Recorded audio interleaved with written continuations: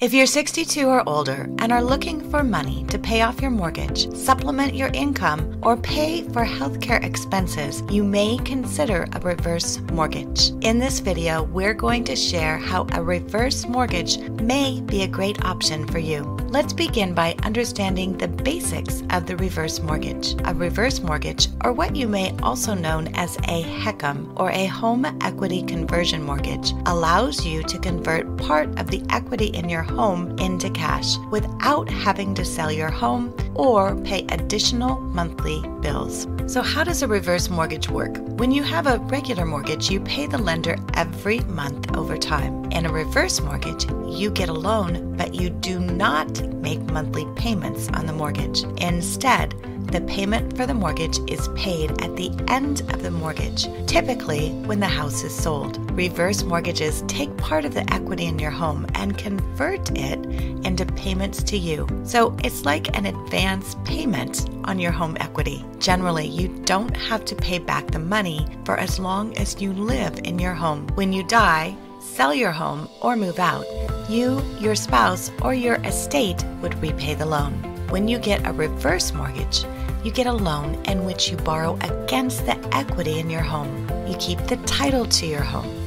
The money you get usually is not taxable and it generally won't affect your Social Security or Medicare benefits. When the last surviving borrower dies, sells the home, or no longer lives in the home as a principal residence, the loan has to be repaid. In certain situations, a non borrowing spouse may be able to remain in the home. In a reverse mortgage, you keep the title to your home. That means you're responsible for property taxes, insurance, utilities, fuel, maintenance, and other expenses. And if you don't pay your property taxes, keep homeowner's insurance, or maintain your home, the lender might require you to repay the loan.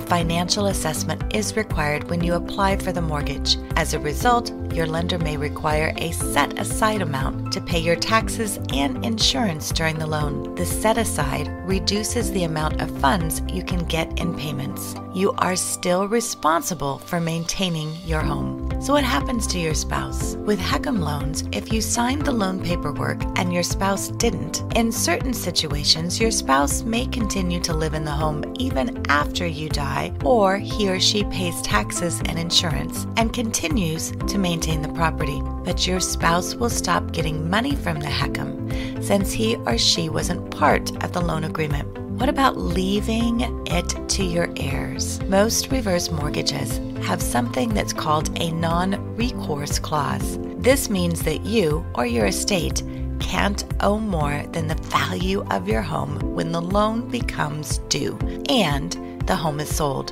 With a HECM, generally, if you or your heirs want to pay off the loan and keep the home rather than sell it, you would not have to pay more than the appraised value of the home. How much you can borrow with a reverse mortgage depends on several factors, including your age, the type of reverse mortgage you select, the appraised value of your home current interest rates, and a financial assessment of your willingness and ability to pay property taxes and homeowners insurance. In general, the older you are, the more equity you have in your home, and the less you owe on it, the more money you can get. Whether a reverse mortgage is right for you is a big question. Consider all your options and make sure you're working with a lender who understands the reverse mortgage and can explain it to you. Thanks again for watching. We're here to answer any questions you have and help you through the mortgage process, whether it's purchase or refinance. Um, you can reach us directly at 615 400 6764. 615 400 6764.